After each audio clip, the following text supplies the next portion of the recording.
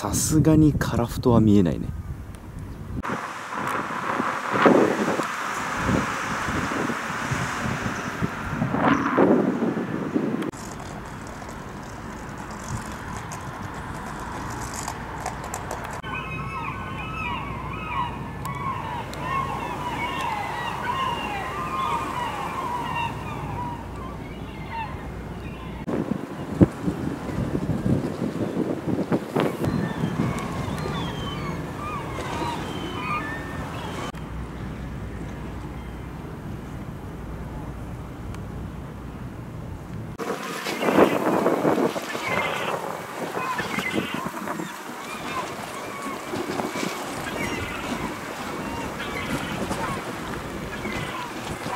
っち向いてくんないかな。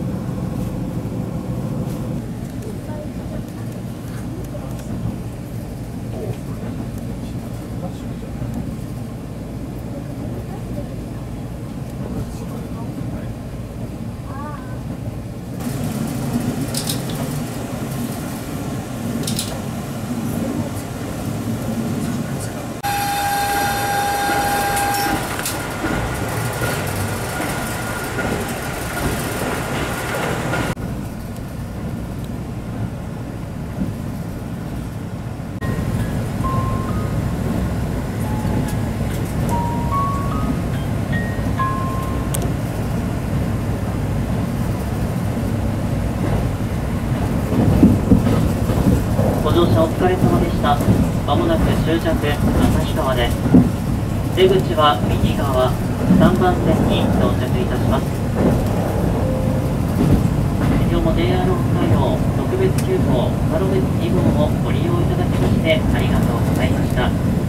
まもなく終着旭川に到着をいたします。